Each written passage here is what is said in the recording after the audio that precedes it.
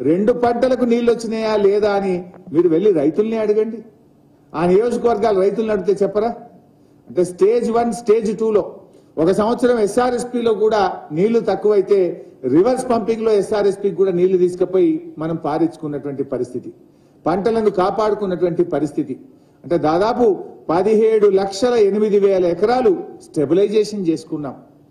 అంటే నీళ్ళు తక్కువైనప్పుడు కాళేశ్వరం నీళ్ళతో ఓ రెండు తళ్ళలో మూడు తళ్ళకో నీళ్ళు ఇచ్చి పంటలు కాపాడుకున్నటువంటి పరిస్థితి. అంటే చెరువులు నింపింది మీకు కనబడదు స్టెబిలైజేషను మీకు కనబడదు. ముఖ్యంగా మా మెదక్ జిల్లాలో.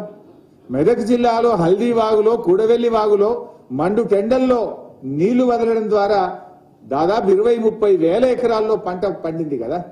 మా హల్దీ వాగు రైతులను కూడవెల్లి వాగు రైతుల్ని అడిగితే ఈ కాళేశ్వరం నీళ్ళ ఫలితం దక్కిందా లేదా ఆ దుబ్బాక రైతులో మెదక్ రైతులో నర్సాపూర్ నియోజకవర్గ రైతులో గజ్వేల్ రైతులను అడిగితే చెప్పరా? ఆ పంట వల్ల ఉపయోగం జరిగిందా లేదా? అంటే ఇది ఏది జరిగింది అనే ఒక దుష్ప్రచారం చేసి మా మీద బురద జల్లేటువంటి ప్రయత్నం చేస్తున్నారు. వాస్తవానికి చెప్పాలంటే కొత్త ఆయకట్టు గాని చెరువుల కింద వచ్చిన ఆయకట్టు గాని స్టెబిలైజేషన్ కలిపితే ఇరవై లక్షల ఎకరాలకు ఇలా కాళేశ్వరం ద్వారా ఇప్పటికే ప్రయోజనం అందింది. ఇరవై లక్షల ఎకరాలకు ప్రయోజనం అందింది. అంటే ఈ వాస్తవాల్ని మరుగున పెట్టి ప్రజలను తప్పుదో పట్టించే విధంగా ఇవాళ కాంగ్రెస్ పార్టీ ఆ ప్రభుత్వం ఇవాళ ఒక దుష్ప్రచారానికి పాల్పడతా ఉంది. మీకు ఇంకో చిన్న ఉదాహరణ కూడా చెప్పాలి. ఎప్పుడైనా ఒక ప్రాజెక్ట్ ఎట్లా కడతారు? ప్రాజెక్ట్లో ముఖ్యంగా ఈ ఇలాంటి పంపింగ్ స్టేషన్స్ అంటే లిఫ్ట్ ఇరిగేషన్ ప్రాజెక్టులు ఏవైతే ఉంటాయో ముందు సర్జ్ పూల్ కడతారు పంప్ హౌస్ కట్టుకుంటాం టనల్స్ కట్టుకుంటాం సబ్ స్టేషన్స్ కట్టుకుంటాం మెయిన్ కెనాల్ చేస్తాం తర్వాత డిస్ట్రిబ్యూటరీ కెనాల్ చేస్తాం ఆ తర్వాత మైనర్స్ ఆ తర్వాత సబ్ మైనర్స్ చేసినప్పుడు పంటకు నీళ్ళు వస్తాయి. మీదంతా చేయకుండా డైరెక్ట్ మైనర్లు చదువుతారా మైనర్లు చదివితే నీళ్ళు వస్తాయా? ఉదాహరణకు కల్వకుర్తి ప్రాజెక్టు. మీ హయాంలో అప్పుడు కల్వకుర్తి గురించి అయితే చంద్రబాబు నాయుడు గారు పలకలేసుడు రాజశేఖర రెడ్డి మొక్కలు పెట్టుడు. రాజశేఖర రెడ్డి గారు శిలా పలకలేసుడు చంద్రబాబు నాయుడు గారు మొక్కలు పెట్టుడు. కానీ ప్రాజెక్టులు మీరు పూర్తి చేయలే. మనందరం కూడా చూసాం దత్తతలు తీసుకున్నారు కదా వీళ్ళు ఆ రోజుల్లో. మరి కాంగ్రెస్ ప్రభుత్వం వాళ్ళే చెప్పిండ్రు అసెంబ్లీలో గొప్పగా తొంభై శాతం కల్వకుర్తి మేము పూర్తి చేసినాం. తొంభై శాతం పూర్తి చేస్తే కల్వకుర్తిలో మీరు ఇచ్చిన ఆయకట్టు ఎంత? పదమూడు వేల ఎకరాలు. రెండు వేల పద్నాలుగు వరకు కాంగ్రెస్ పార్టీ అధికారంలో ఉన్నప్పుడు తొంభై శాతం పూర్తయిన కల్వకుర్తిలో ఎందుకు పదమూడు వేల ఎకరాలకే నీళ్ళు ఇచ్చారు మూడు లక్షల ముప్పై వేల ఎకరాలకు నీళ్ళు ఇవ్వాల్సిన కల్వకుర్తిలో పదమూడు వేల ఎకరాలకే మీరు నీళ్ళు అంటే నాలుగు శాతం మాత్రమే. ఇది మరి ఎందుకు అట్లా అయింది? ఆనాడు కల్వకుర్తిలో మీరు కేవలం ఫస్ట్ దాకానే చేసినారు మొత్తం చేయలే. మేము వచ్చిన తర్వాత కల్వకుర్తి మీద దృష్టి పెట్టి మూడు లక్షల ఏడు వేల ఎకరాలకు మేము నీళ్ళు ఇచ్చాం మీరు అన్నాడు కొంతవరకు ఒక పంప్ హౌస్ చేసినారు సజ్జిపూలు చేసినారు. దాన్ని మరి కెనాల్స్ అన్ని కూడా మేము చేసి మూడు లక్షల ఏడు వేల ఎకరాలకి ఇలా కలవకుర్తి కింద నీళ్ళు ఇచ్చినాం కదా. ఇలా కాళేశ్వరంలో కూడా ఎనభై తొంభై శాతం పనులు అయిపోయినాయి. మేజర్ పనులన్నీ అయిపోయినాయి. చేయాల్సింది పంట కాలువలు తవ్వడం మైనర్ అండ్ సబ్ మైనర్స్ తవ్వాలి. ఆ పని మీరు చేయండి. మేము చేయలేదా కాళేశ్వరంలో? ఆనాడు మేము చేయలే కల్వకుర్తిలా ఆనాడు కల్వకుర్తిలో మీరు దిగిపోయిన నాడు పదమూడు వేల ఎకరాలకు నీళ్ళు ఇస్తే మేము వచ్చినాక మూడు లక్షల ఏడు వేల ఎకరాలకు నీళ్ళు ఇచ్చాం. నెట్టంపాడులో మీరు ఆ రోజు తొంభై శాతం పూర్తయింది అన్నారు కానీ మీరు ఇచ్చిన ఆయకట్టు రెండు వేల మూడు వందల ఎకరాలు. మేము వచ్చిన తర్వాత నెట్టంపాడులో లక్ష నలభై వేల ఎకరాలకు నీళ్ళు ఇచ్చాం. అదేవిధంగా భీమా మీరు ఇచ్చింది పన్నెండు వేల ఎకరాలకు నీళ్ళు ఇస్తే మేము వచ్చిన తర్వాత కాలువలు పూర్తి చేసి లక్ష యాభై ఎనిమిది వేల ఎకరాలకు భీమాలో నీళ్ళు ఇచ్చాం. అదే పద్ధతుల్లో కాళేశ్వరంకు అన్ని అనుమతులు తెచ్చాం. అన్ని పనులు పూర్తి చేశాం. మీరు చేయాల్సింది ఏముంది సింపుల్గా ఇప్పుడు కాలువలు తవ్వండి పూర్తి ఆయకట్టుకు నీళ్ళు ఇవ్వండి. సరే మేడిగడ్డలో జరిగిన దాని మీద విచారణ చేయండి. నేను అసెంబ్లీలో అడిగిన కదా? నేనే కదా డిమాండ్ చేసింది.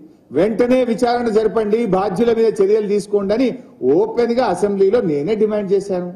చెయ్యండి కానీ నేనేమంటున్నా అంటే మా మీద బురద జల్లేటువంటి నెపంతో రైతులకు అన్యాయం చేయొద్దు. ఇప్పుడు ఇప్పుడు సీజన్ ఇది వర్కింగ్ సీజన్ వెంటనే నిర్ణయాలు తీసుకోండి.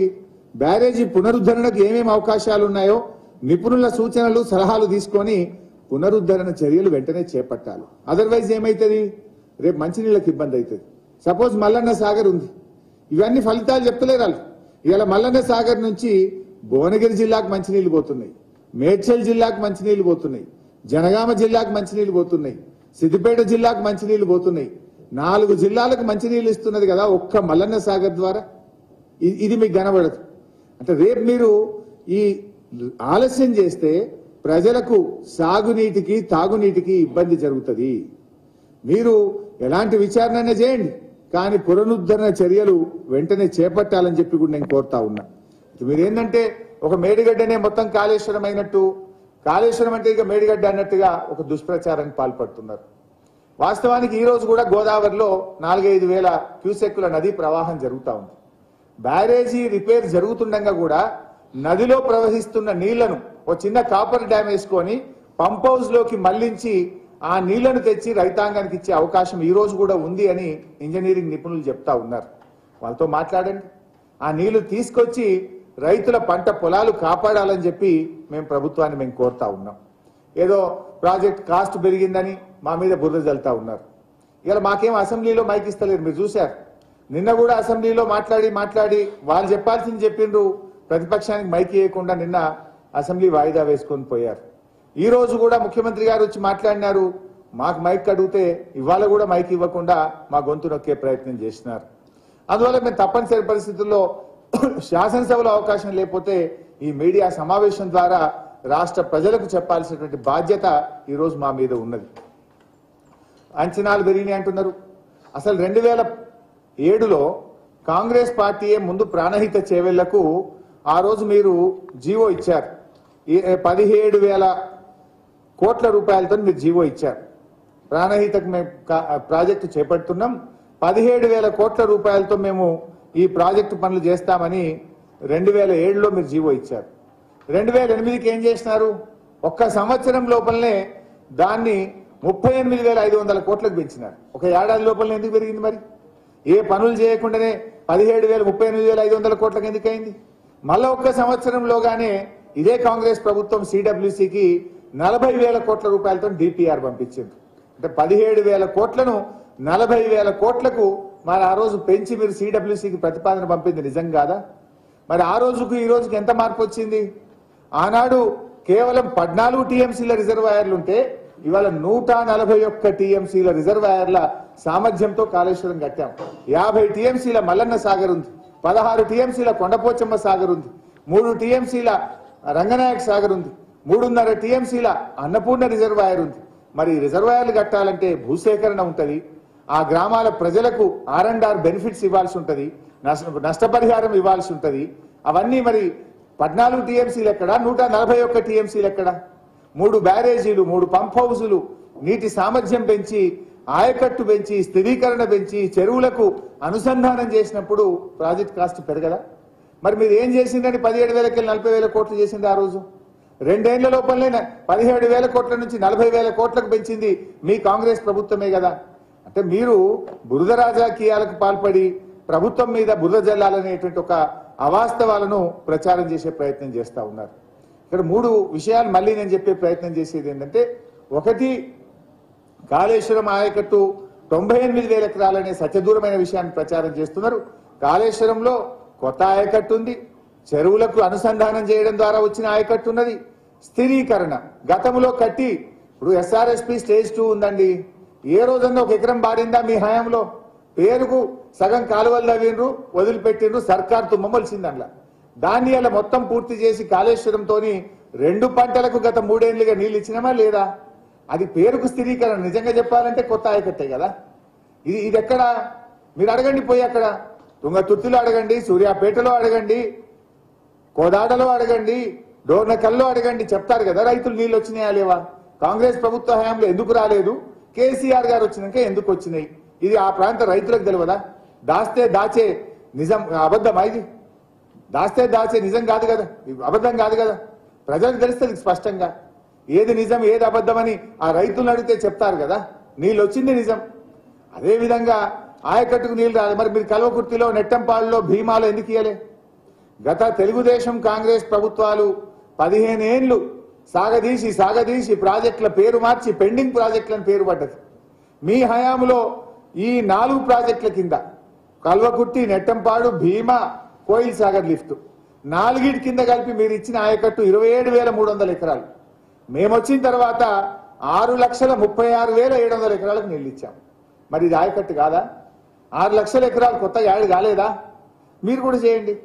మేము అన్ని పూర్తి చేసినాం తొంభై శాతం పనులు పూర్తి చేసినాం. మీరు మిగతా బ్యాలెన్స్ వర్క్ చేస్తే కాలువల ద్వారా నీళ్ళు ఇవ్వచ్చు కదా. కానీ మీరు ఏదో ఇంత ఖర్చు పెట్టే తొంభై ఏడు వేలే వచ్చింది అని ఒక దుష్ప్రచారం చేస్తున్నారు. ఇలా వరద కాలువ వరద కాలువ ఎంత అద్భుతమైంది. వరద కాలువ గతంలో మూడు మూడేళ్ళు నాలుగు నాలుగేళ్ళు చుక్క నీళ్ళు లేక బండలు తేలినాయి. కానీ వరద కాలువను నిండు కుండలాగా మార్చి వరద కాలువ కింద రెండు పక్కల ఇటు జగిత్యాల కొరుట్ల మెట్పల్లి చొప్పదండి కరీంనగర్ నాలుగు అటు ఆర్మూరు బాల్కొండ నాలుగైదు నియోజకవర్గాలకు వరద కాలువ వరద వర ప్రదాయనైంది కాళేశ్వరం వల్ల. రివర్స్ పంపింగ్ పెట్టి వరద కాలువను నిండు కుండలాగా మార్చినాం. దాని ఫలితాలు కొన్ని వేల లక్షల ఎకరాల రైతులకు నీటి ఊటల ద్వారా ప్రత్యక్షంగా పరోక్షంగా వరద కాలువ ద్వారా మేలు జరిగింది. అదేవిధంగా మన అప్పర్ మానేర్ అప్పర్ మానేర్లో మొత్తం బండలు తేలినాయి. పగుళ్ళు పెట్టినాం. బీడుపడ్డ అప్పర్ మానేరు అడుగు చూసినాం. కానీ అలా అప్పర్ మానేరులో మండు టెండల్లో కూడా మత్తడి అంటే కాళేశ్వరం వల్ల కాదా? పోయి అడుగుని ముస్తాబాద్ మండలంలో రైతులను అడిగితే అప్పర్ మానేరుకు వచ్చిన నీళ్ళు ఎక్కడి గతంలో ఎందుకు రాలే ఇప్పుడు ఎందుకు వచ్చినాయి అంటే కాళేశ్వరం ప్రాజెక్టుతో వచ్చినాయని అక్కడ రైతులు చెప్తారు కదా నేను చెప్పడం కాదు కదా. అప్పర్ మానేరు ముస్తాబాదు గంభీరరావుపేట ప్రాంత రైతులను అడిగితే చెప్పరా నీళ్ళు ఎక్కడి నుంచి వచ్చినాయో? అది నిజం కాదా? అంటే ఇవన్నీ ఏదో దాచేస్తే మేము దాయగలుగుతాం అనేటువంటి రీతిలో ఒక దుష్ప్రచారాన్ని చల్లేటువంటి జరిపేటువంటి ప్రయత్నం కాంగ్రెస్ పార్టీ చేస్తూ ఉంది. అంటే ఒకటి కాళేశ్వరం ఫలితాలను ఒకవైపు త్రాగునీరు ఇచ్చాం ఇంకొక వైపు సాగునీరు ఇచ్చాం. సాగునీరు మూడు రకాలుగా ఇచ్చాం. డైరెక్ట్గా ఇచ్చాం చెరువుల కింద ఇచ్చాం స్థిరీకరణ ద్వారా ఇచ్చాం. కానీ దీన్ని చెప్పకుండా దాచేసే ప్రయత్నం చేస్తూ ఉన్నారు. కాళేశ్వరం అంటే ఒక మేడిగడ్డ మాత్రమే అన్నట్టు మొత్తం కాళేశ్వరం పోయింది అనేటువంటి ఒక దుష్ప్రచారానికి ఏదో పార్లమెంట్ ఎన్నికలను దృష్టిలో పెట్టుకొని దుష్ప్రచారానికి పాల్పడతా ఉన్నారు.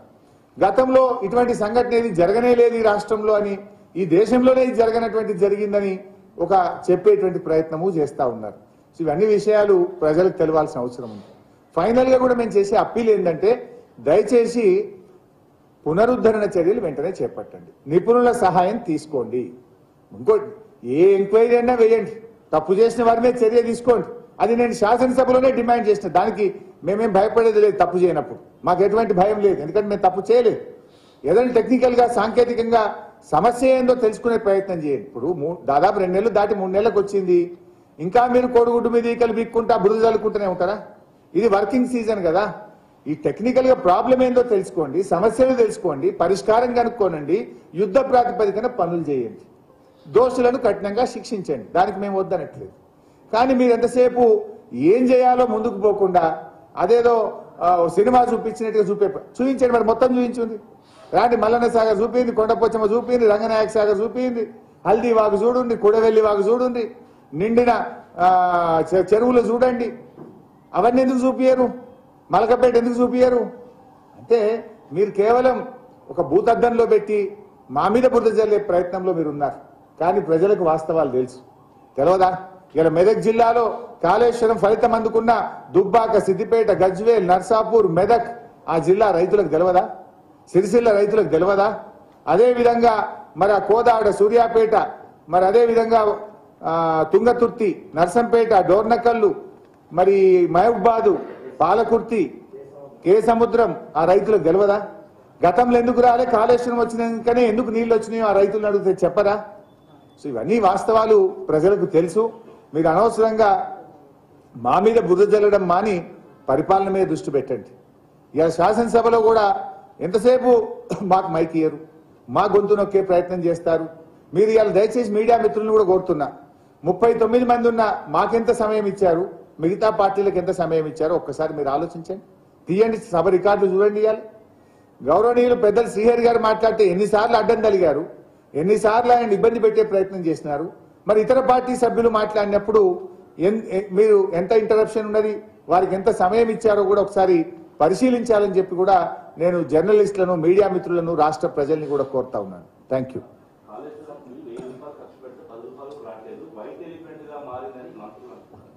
ఇప్పటిదాకా అదే చెప్పిన కదా బైసాబ్ ఇప్పుడు కాళేశ్వరం ఫలితాలు ఏందో చెప్పిన కదా? ఎన్ని జిల్లాలకు త్రాగునీరు వచ్చింది ఎన్ని చెరువులు నిండినాయి ఎంత మత్స్య సంపద పెరిగింది ఎంత పంట పండింది గతంలో రాష్ట్రంలో తొంభై నాలుగు లక్షల మెట్రిక్ టన్నుల వడ్లు పండితే ఇవాళ మూడు కోట్ల మెట్రిక్ టన్నుల వడ్లు పండినాయి. మ్యాజిక్ చేస్తానో మంత్రం వేస్తానో పంట పండుతుందా? మూడు కోట్ల మెట్రిక్ టన్నుల పంట ఎందుకు పండింది? వాళ్ళకి ఏమైందంటే మా ప్రభుత్వానికి మంచి పేరు వచ్చింది కనుక దాని మీద బుర్ర జల్లాలి. ఏదో ఒక రకంగా మాకు ఒక చెడ్డ పేరు తెచ్చి ప్రజల్లో అనుమానాలు కలిగించేటువంటి ఒక దుష్ప్రచారానికి వాళ్ళు పాల్పడతా ఉన్నారు. బట్ నిజం నిలకడమే తెలుస్తుంది. ఇప్పుడు రేపు నీళ్ళు రాలేదనుకో ఇప్పుడేమో ఆల్రెడీ మేము రిజర్వాయర్లు నింపి పెట్టినాం కనుక నీళ్ళు ఇప్పుడు యాసంగికి పోతున్నాయి ఇబ్బంది లేదు. రేపు వచ్చే వానకాలం వచ్చే యాసంగి నీళ్ళు రాలేదనుకో కేసీఆర్ ఉండగా నీళ్ళు వచ్చినాయి ఇప్పుడు ఎందుకు వస్తలేవు అని ప్రజలు ఆలోచించారా? థ్యాంక్ యూ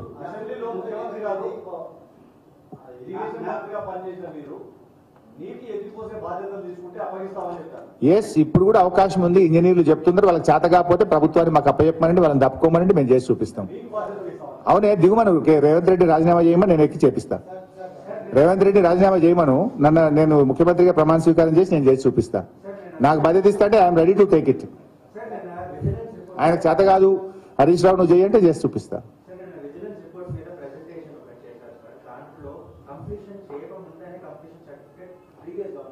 సి నేను have to see the report that's why I'm telling you whatever the action you want to take you take see the report. Responsible why I the action but రైతుల్ని ఇబ్బంది పెట్టకు. రైతులకు నష్టం కానియకు. పునరుద్ధరణ చర్యలు చేయండి అంటున్నాం. You are at liberty to take action